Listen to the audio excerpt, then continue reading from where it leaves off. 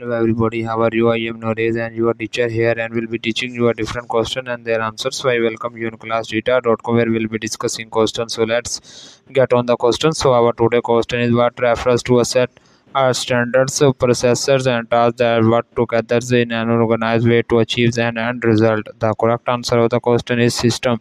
So that the answer of the question. If you are searching any other question, please visit www.classtheta.com and find on the search section if you have any question to other in our sessions on the right side of the website fill the form and we will be answering you as soon as i can. Thank you for watching this video. Please do not forget to like share subscribe our channel. Until next question bye bye